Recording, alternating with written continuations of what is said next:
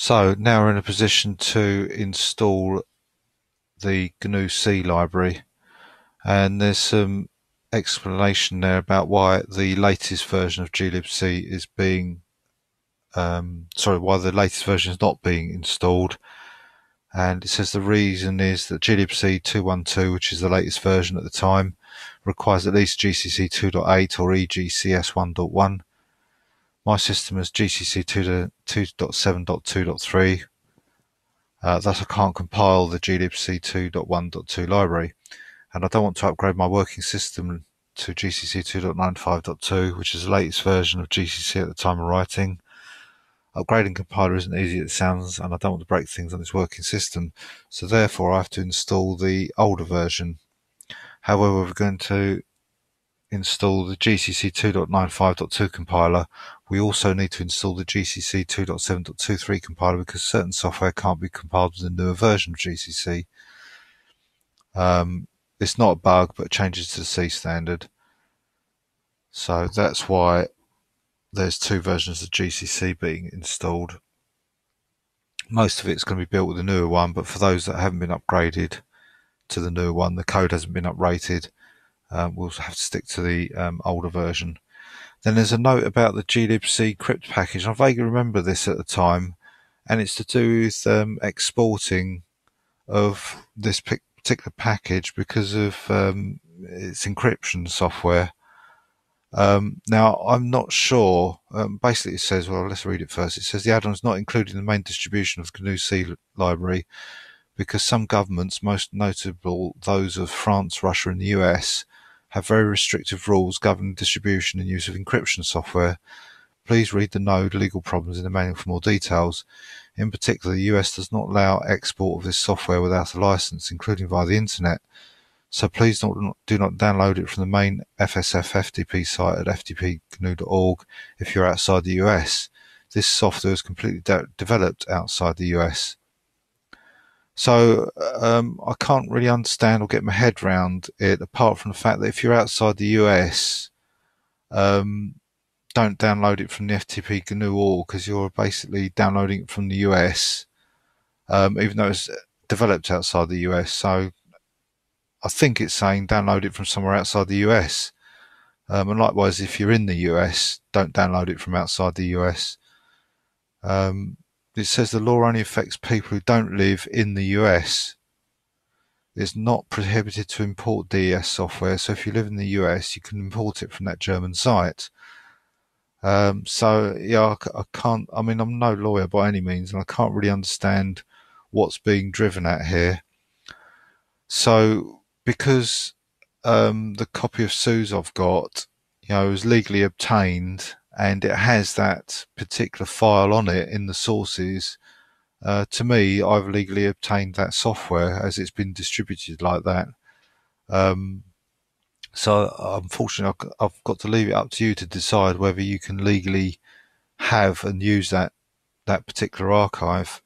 Um, if I do a listing, it's referring to this particular file here, glibc crypt.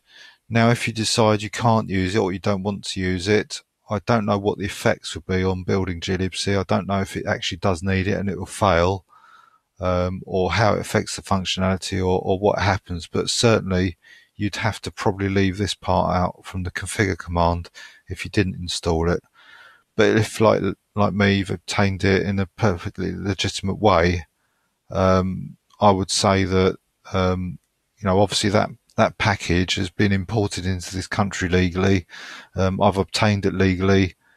Um, so, uh, yeah, I, I consider that I have the rights to use that um, within within the law.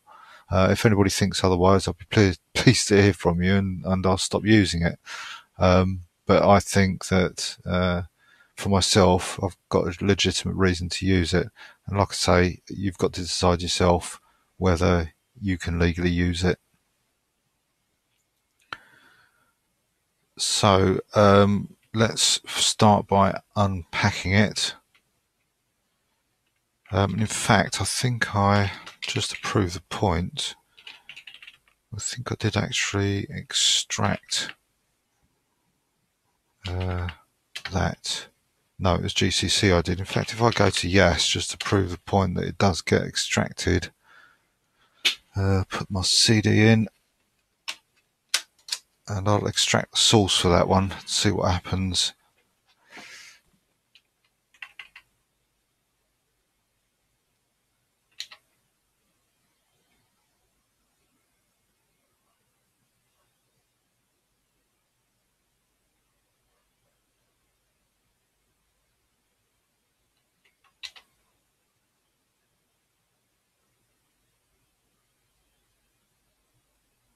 Okay, so go down to the source packages, look for glibc.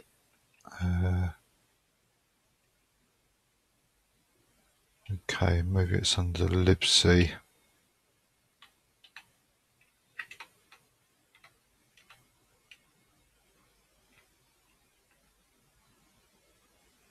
Yeah, you can see it's got lib cgcrypt there. So if I check that, and save it.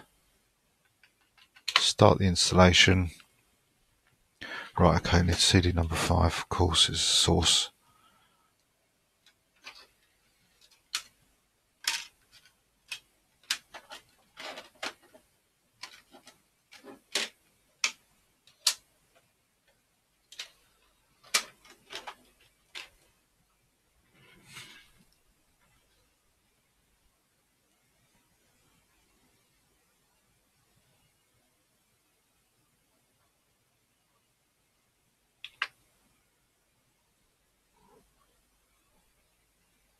Okay, it's found that automatically. So that's completed. Let's wait for it to finish its domestic work.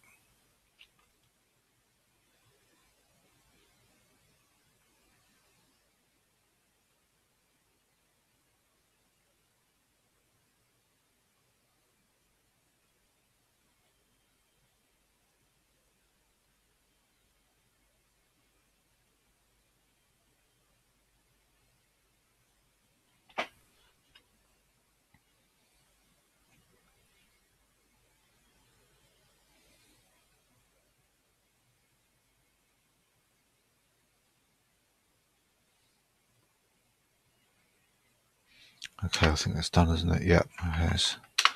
Exit. So if I now do a listing of the sources directory, you can see there, there's the file that's been created um, and an appropriate timestamp as well. So like I say, I, I consider that to be a, a, legal and legitimate use uh, for myself. And like I say, that's something you've got to decide whether you can use it legally or not. So let's, oh, let's get rid of that LDSO.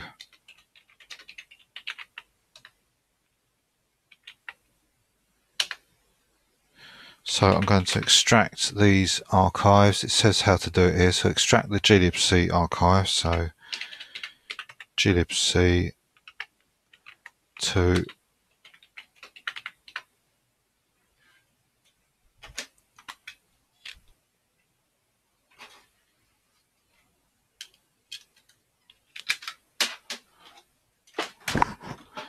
Okay, then it says move the glibc crypt and glibc Linux threads archived into the unpacked glibc directory. I'm not actually going to move them, I'm going to copy them. So the glibc crypt and glibc Linux threads into that directory that's been created. Okay, unpack the glibc crypt and glibc Linux threads there. So let's change into it.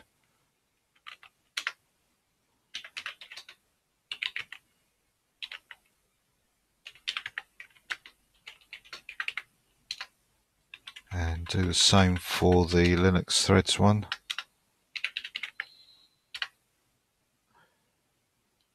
Configure the package by running from the glibc top level directory where we are.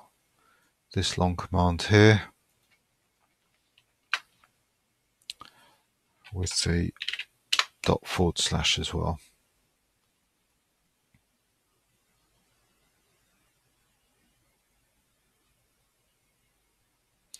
Now we need to create a config palm configparms file with that information in it. So edit it and copy this information, save it compile the package by running make and then it looks like the rest of it we do actually on the running LFS system.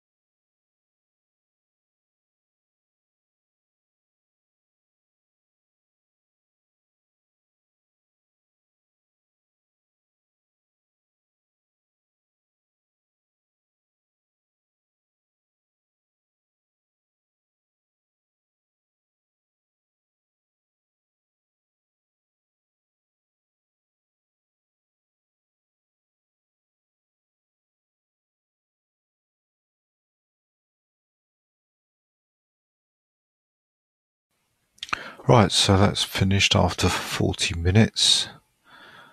So looks like what we need to do now is to reboot back into the LFS system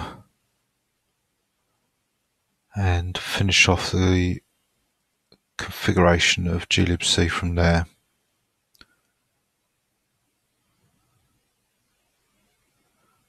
So I'll do that. I'll shut this down here.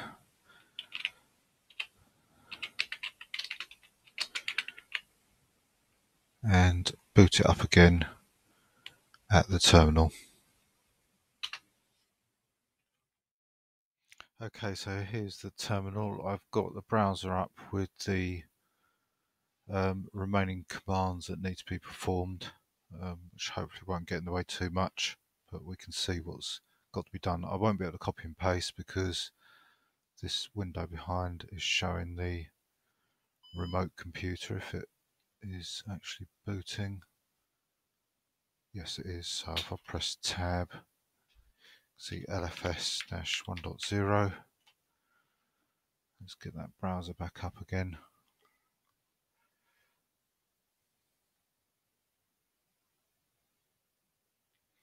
Right, so I'll go in. We've got our prompt. So let's see what it says. It says remount the LFS partition in read-write mode. So let's do that first of all. We need to type mount minus n minus o rw comma remount um, slash dev slash hda6 which is our partition and we want to remount it on the root so that's done mount the partition where the glibc source files reside so I'll need to mount um, oh no, I won't. I'll just go to sources, uh, glibc 206. So yeah, that's effectively where it's already mounted. Um, yes, now I need to mount slash dev slash hda5, which is our SUSE partition. Um, which is basically for the next bit actually. Um, HJ5 and we'll put that in MNT. So this is the MNT of our Linux from scratch system. And it's complaining it can't find etc fs tab. That's not a problem because it doesn't exist at the moment. Now it says you can see that it's assumed the looks of it um, create a symlink that links GCC lib to normal Linux. Oh, right, yes, okay. So what we've got to do is we've got to create a, li a link that's on our um, Linux from scratch system that points to the, so that's why it's got the forward slash there because it's from the root to wherever the user lib GCC lib is in our SUSE 6.1 system. So I don't believe at the moment we've got a lib directory. Let's just check. No, we haven't. So we need to create one.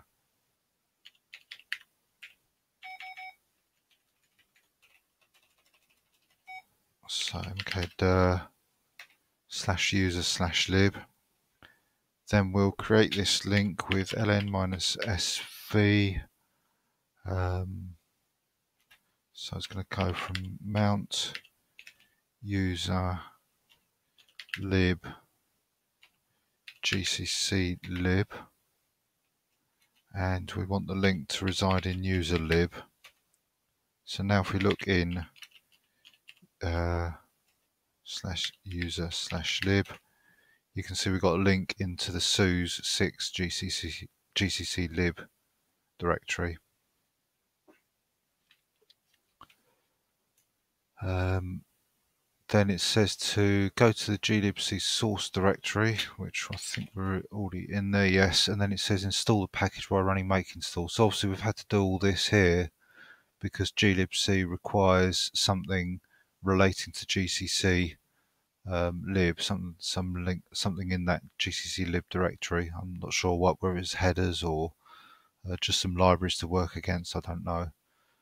So let's now run make install and wait for that to complete.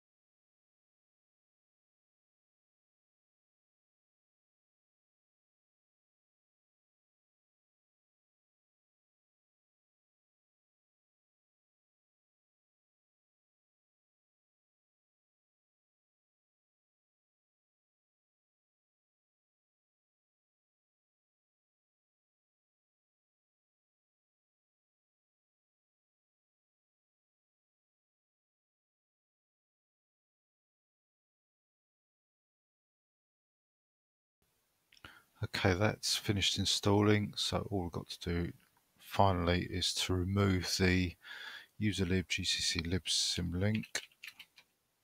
Let's just check that, make sure it hasn't been overwritten or updated or anything before we remove it. Okay, there's other stuff there. Uh,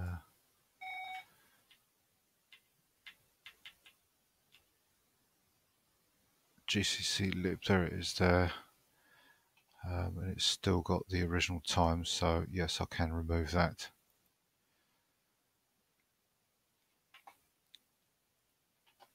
So let's do rm slash user lib slash gcc lib and that's done. So you can check if the GNU C library seems to be working by running a dynamically linked program that uses this library like virtual, virtually every single program. A simple test is running the ls program that resides in the bin directory in your normal Linux distribution. So let's try that slash mnt slash bin slash ls and yes it's run. It's run without any errors and it's behaving as you'd expect. So it does seem to be that the glibc library we've just installed is working correctly. So all I need to do now for a carry on is to unmount the SUSE Linux partition so it's um, uh, cleanly unmounted and also I need to remount the uh, root of Linux from scratch 1.0 so that doesn't get um, unmounted uh, uncleanly. So I'm going to, well, I can't unmount it because it's in use, but I'm going to remount it as read-only. And that now means that I can safely um, reboot or shut down. In fact, I've got to reboot from here. I don't think the shutdown will st still won't work. Let's try it. Oh, looks like it maybe is.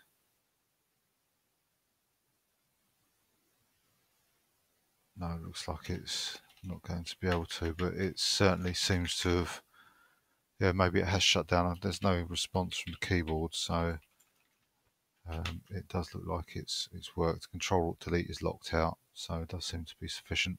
But at least the root is in read only, so I won't get any errors on the next boot.